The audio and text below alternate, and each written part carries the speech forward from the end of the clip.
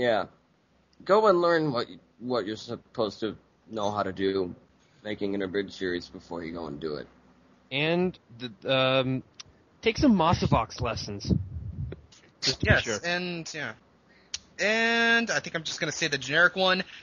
And Oh yeah, definitely have fun and pirate every good video program you can find. Yeah. Audacity.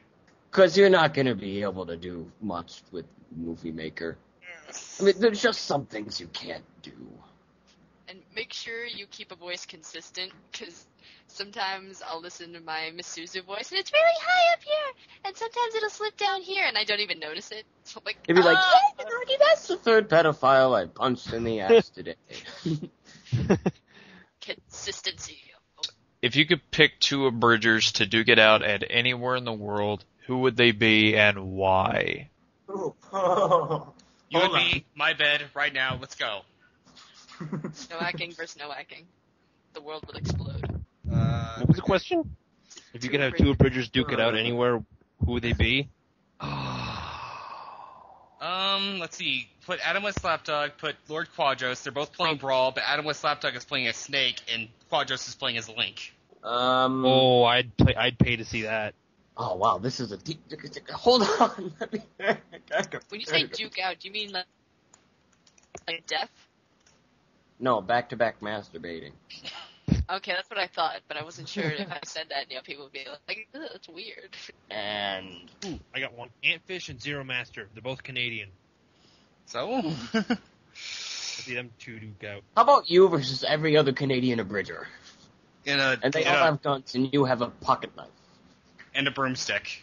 And finally, the um, last question: If you, any of you could go back in time at anywhere in the world, where would you go and why?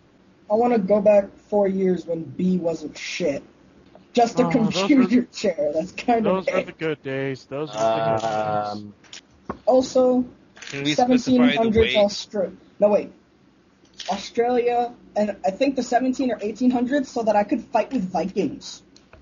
All Can we right. specify the mode of uh, transportation through time? Unicorn. I'm gonna go classic. Fucking DeLorean. Oh, I think uh, I'd go back okay. to when I was 11, but not like, no, I myself would, like right now, would teleport back in time so I could meet myself as an 11 year old and go, you are so fucked.